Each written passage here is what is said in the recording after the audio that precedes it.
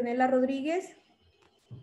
y soy abogada de los juzgados y tribunales de la República del Ecuador de la Universidad San Gregorio de Puerto Viejo del año 2011, magíster en Derecho Constitucional de la Universidad Espíritu Santo de Guayaquil en el 2018, cursando un PhD en la Universidad de Zulia, Venezuela, agente multicompetente, agente fiscal multicompetente de Manabí desde el año 2015. Eh, mi tema es la flagrancia en el delito de violencia psicológica. Es un hecho admitido que el maltrato psicológico en sentido estricto implica siempre eh, conductas dirigidas a causar un daño en la víctima, de muy difícil prueba porque al no tratarse de menoscabos o lesiones físicas, no quedan huellas visibles en la mujer maltratada. La violencia contra la población femenina, mujer o niña, es muy importante el tema de salud y derechos humanos, tomando como referente dicha población femenina mundial, por lo menos una de cada cinco mujeres ha sido maltratada física o sexualmente por un hombre o varios hombres en algún momento de su vida. En muchos casos, incluyendo las mujeres embarazadas y las niñas jóvenes, son objetos de ataques graves, sostenidos o repetidos. La Organización Mundial para la Salud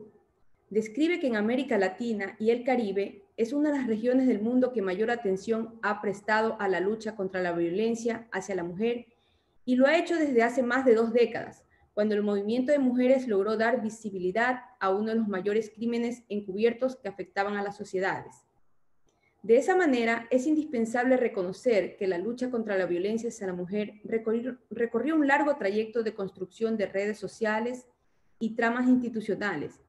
que han implicado la reformulación de marcos jurídicos, la creación de normas e instituciones, el diseño de metodologías, la capacitación de operadores de políticas, la sensibilización de los medios de comunicación y un permanente debate para incorporar a múltiples actores en la prevención y erradicación de este flagelo calificado como una violación de los derechos humanos. Así, el maltrato de la mujer es condenado, de hecho, en casi todas las sociedades. El encauzamiento y la condena de los hombres que golpean o violan a las mujeres o las niñas son poco frecuentes en comparación con el número de agresiones, por lo tanto, la violencia opera como un medio para mantener y reforzar la subordinación de la mujer. En ese sentido, las víctimas de violencia por parte de sus parejas muchas veces piensan que este no es lo suficientemente grave como para tratar de impedirlo. La posible frecuencia del mismo se convierte en un problema de la cual la importancia de esta ponencia. En este sentido, desde el enfoque de derechos humanos, ha sido posible que el problema ingrese como preocupación de muchos ámbitos. Entendido como problema de salud pública, se lo ha conectado como un componente de la salud física y psíquica a la que las personas tienen derecho. Entendido como un problema legal, se ha conectado con los esfuerzos de modernización de la justicia, los códigos penales y las instituciones encargadas de protegerlos. Entendido como un problema vinculado a la pobreza, se lo ha asociado como parte de los nuevos enfoques de lucha contra la pobreza que ven su erradicación como un esfuerzo imprescindible para dotar a las personas de las capacidades mínimas para llevar a cabo una vida decente. La violencia es un componente de la pobreza y puede ser un agravante de esta. Por su lado, la declaración sobre la eliminación de la violencia contra la mujer adoptada por la Asamblea General de las Naciones Unidas en 1993, define la violencia contra la mujer como todo acto de violencia basado en el género que tiene como resultado posible o real un daño físico, sexual o psicológico, incluido las amenazas, la coerción o la privación arbitraria de la libertad, ya sea que ocurra en la vida pública o en la vida privada. Abarca sin carácter ilimitado la violencia física, sexual, psicológica en la familia, incluidos los golpes, el abuso sexual de las niñas en el hogar, la violencia relacionada a la violencia por el marido, la mutilación genital y otras prácticas tradicionales que atentan contra la mujer, la violencia ejercida por personas distintas del marido y la violencia relacionada con la explotación, la violencia física, sexual, psicológica al nivel de la comunidad en general incluidas las violaciones, los abusos sexuales, el hostigamiento y la intimidación sexual en el trabajo. en instituciones educacionales y en otros ámbitos, el tráfico de mujeres y la prostitución forzada, y la violencia física, sexual, psicológica perpetrada o tolerada por el Estado, donde quiera que ocurra. Por esto, a través de un largo recorrido, las mujeres han, ido logrando el pleno reconocimiento de su situación de discriminación y de la necesidad de superar dicha realidad a través de la aprobación de instrumentos jurídicos de derechos de las mujeres, entre los que se cuentan la Convención para la Eliminación de todas las formas de discriminación contra la mujer y la Convención de Belén do Para. Estas convenciones jurídicamente obligatorias son verdaderos catálogos de derechos, uno universal y otro regional, que además se van enriqueciendo del avance doctrinario producto de las diferentes conferencias mundiales de las Naciones Unidas y de las recomendaciones que surgen de las entidades encargadas de su monitoreo. Las consecuencias de la violencia contra la mujer pueden no ser mortales y adoptar la forma de lesiones físicas, de cortes menores, equimosis a discapacidad crónica o problemas de salud mental. También pueden ser mortales, ya sea por homicidio intencional, por muerte como resultado de lesiones permanentes o SIDA, o debido al suicidio, usando como último recurso para escapar de esta violencia.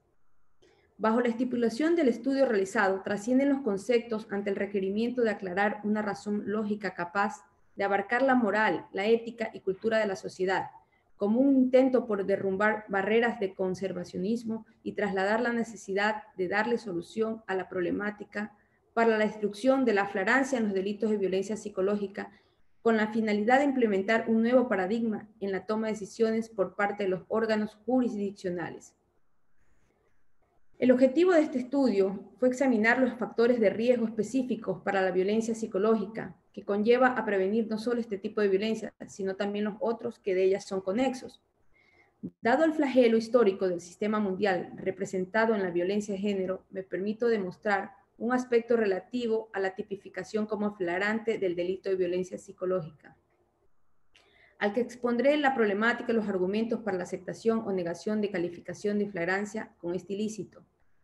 Consiguientemente, la violencia psicológica se entiende como todo tipo de acto u omisión capaz de atentar contra la salud mental y emocional de otra persona. Este tipo de violencia se caracteriza por la dificultad para ser verificada, pues al no dejar rastros físicos palpables por sí sola, se necesita de pruebas periciales para determinar los daños psicológicos y emocionales de las víctimas. Para la comprensión más exacta, es vital la explicación de lo que es el concepto de flagrancia. Empezaremos por la definición de flagrancia según el artículo 527 del Código Orgánico Integral Penal en el Ecuador, el artículo 527 indica que flagrancia se entiende que se encuentra en situación de flagrancia la persona que comete el delito en presencia de una o más personas o cuando se la descubre inmediatamente después de una supuesta comisión, siempre que exista una persecución ininterrumpida desde el momento de la supuesta comisión hasta la aprehensión, asimismo cuando se encuentre con armas, instrumentos, el producto del ilícito, huellas o documentos relativos a la infracción recién cometida y no se podrá alegar persecución ininterrumpida si han transcurrido más de 24 horas entre la comisión de la infracción y la aprehensión. Ahora bien, las definiciones de violencia en el Código Orgánico Integral Penal del Ecuador, los mismos se encuentran enmarcados como delitos contra la integridad personal, y estos son Artículo 155, violencia contra la mujer o miembros del núcleo familiar. Artículo 156, violencia física contra la mujer o miembros del núcleo familiar. Artículo, artículo 157, violencia psicológica contra la mujer o miembros del núcleo familiar. Artículo 158, violencia sexual contra la mujer o miembros del núcleo familiar. Como nos estamos refiriendo justamente a lo que es la violencia psicológica contra la mujer o miembros del núcleo familiar, me permito indicar lo que eh, textualmente indica este artículo.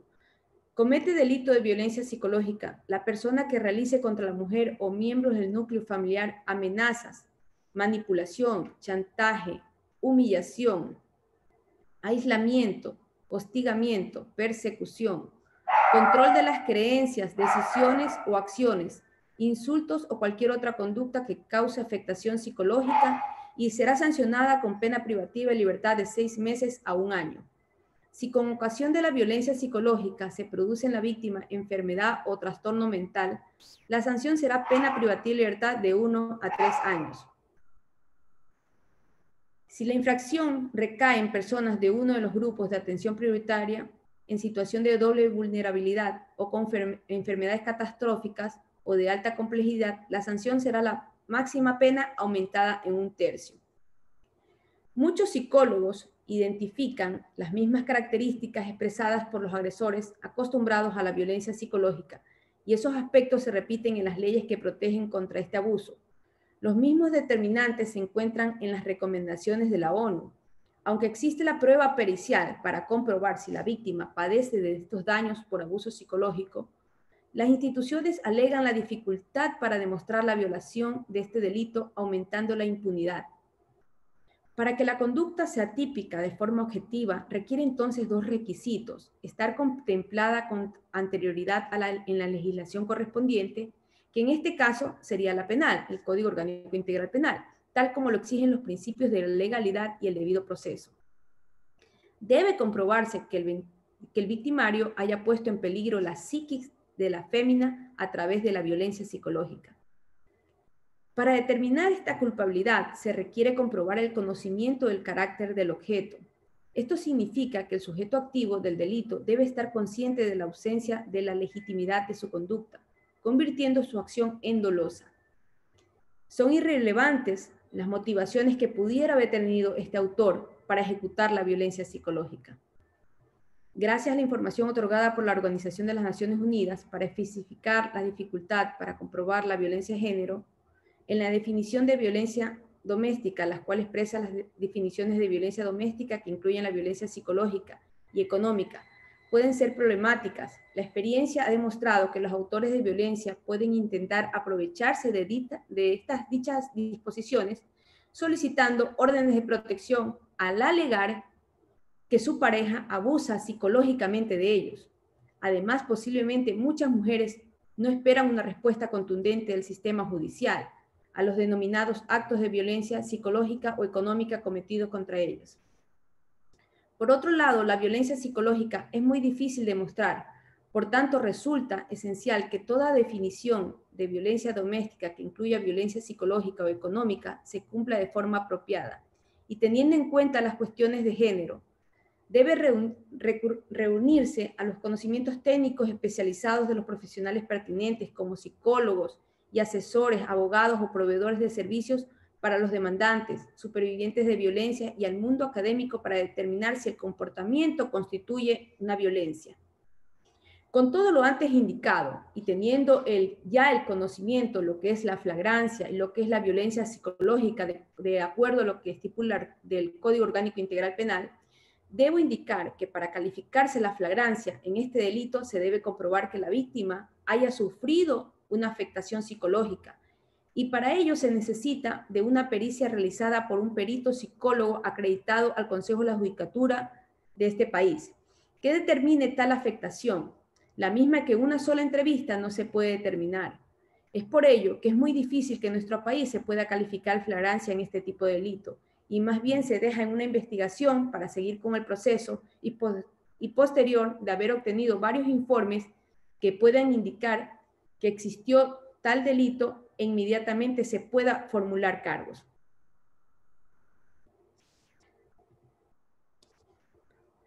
Eh, la metodología eh, dentro de esta investigación se propone un método de análisis mediante el cual podemos generar un tipo de estudio metodológico. Esta investigación es de tipo documental, de análisis y comparación, y se llegó a la recomendación de estudiar la argumentación de la flagrancia en los delitos de violencia psicológica,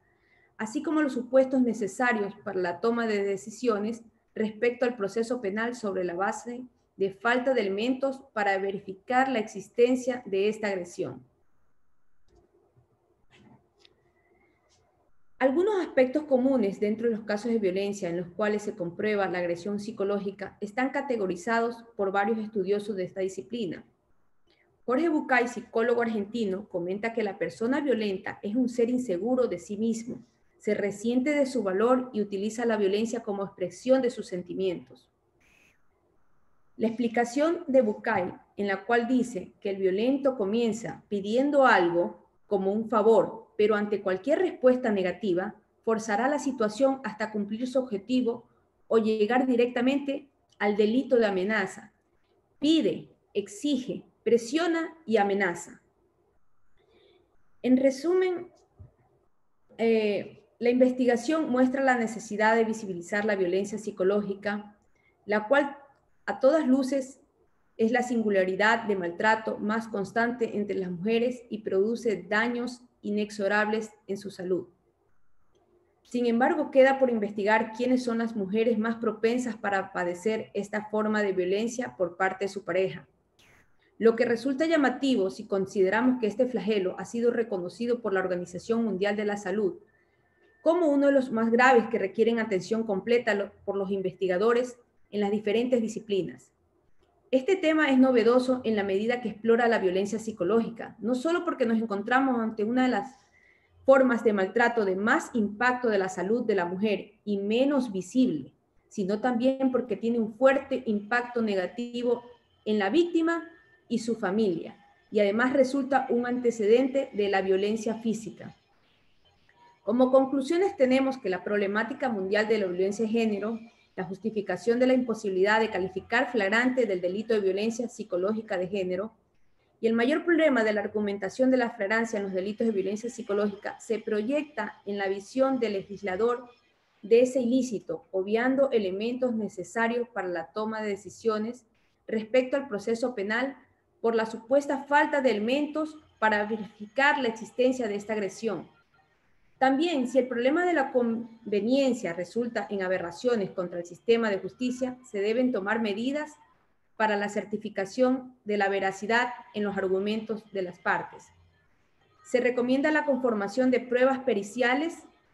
capaces de diagnosticar a los acusados como violentos o demostrar su inocencia, permitiendo calificar y sirviendo en pro de la justicia, la cual no es posible en un procedimiento de flagrancia. Hasta aquí eh, concluye mi ponencia. No sé si haya preguntas.